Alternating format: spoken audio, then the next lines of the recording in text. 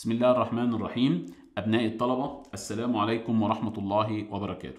إن شاء الله النهاردة هنستكمل تصميم ال raft foundations أو خطوات تصميم ال raft foundations وهناخد الخطوة اللي بعد ما حسبنا ال stresses تحت القاعدة أو تحت ال raft في الاتجاهين في اتجاه x وفي اتجاه y فطبعا الخطوة الخامسة إن أنت تعمل ال straining مين؟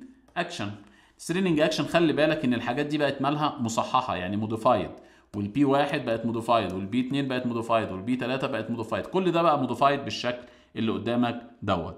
ابتدي ارسم ال shear. بس خلي بالك ان ال shear بتاعك هنا لما هيجي يترسم هيترسم إزاي؟ مش هيترسم عبارة عن خطوط. ليه؟ عشان ال stresses ماله non uniform يعني انت لو نزلت كده أو أو طلعت كده وبعدين تيجي تنزل هتلاقي ان ال shear يجي لك بالشكل اللي انت شايفه دوت. شايف ال shear عامل إزاي؟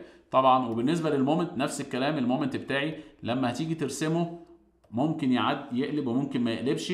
بس أهم حاجة إن ده مش معادلة من الدرجة الثانية لأ ال moment بتاعي هنا معادلة من الدرجة الثالثه ليه؟ عشان ال force بتاعتي أو ال stresses تحت مالها non uniform يعني لازم تجيب ال moment هنا عن طريق إن أنت تقطع وتجيب. مفيش حاجة اسمها w square على 8 ولا حاجة. ولازم تخلي بالك لو عايز تجيب shear يبقى هي مساحة مين؟ الشبه المنحرف ده ال shear. طب بالنسبة لل moment أجيب moment إزاي لما يبقى عندي شبه منحرف؟ كنا بنقسمه لحتتين حتة مستطيل وحتة إيه؟ مثلث وأجيب ال moment عند النقطة ناقص النقطة اللي جاية يبقى أنا رسمت ال bending moment بتاعي في الاتجاه x وفي الاتجاه مين؟ y رسمتهم في الاتجاهين عشان أبتدي أصمم القاعدة بتاعتي. طالما جبت ال moment أكبر moment عندي أجيب منه ال d اللي هو بتساوي إيه؟ ال d لو تفتكر C واحد جذر ال M على مين؟ على ممكن B وممكن L طبعا في ال Fcu في ال إمتى B وامتى L على حسب أنت جبت ال moment في أنهي اتجاه.